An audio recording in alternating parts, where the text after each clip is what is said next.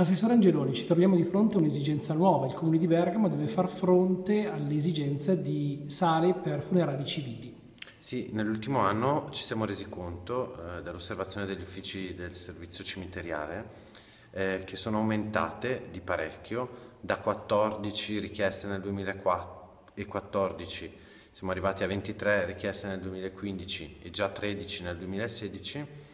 eh, di eh, spazi per celebrare eh, funerali in rito civile, per fare commemorazioni eh, presso il cimitero cittadino. Eh, gli spazi eh, per questi usi eh, ad oggi non ci sono, abbiamo la camera mortuaria che è in luogo angusto e che non può ospitare ce eh, celebrazioni di questo tipo e abbiamo a pagamento la sala che mette a disposizione il forno crematorio che però riesce a ospitare 60-70 persone. Per funerali eh, di persone che richiedono il rito civile eh, con molto seguito, eh, siamo eh, in una situazione di impasse perché eh, non è possibile svolgerli e laddove sono stati svolti eh, si è dovuti farli all'aperto, quindi è una esigenza che ci siamo presi in carico in questi giorni eh, e stiamo dialogando anche con alcuni operatori privati per pensare a una soluzione. Si pensa a una soluzione all'interno del cimitero monumentale di Bergamo? Si pensa a una soluzione eh, all'interno con tutti i problemi eh, dovuti agli spazi perché siamo obbligati per legge a mantenere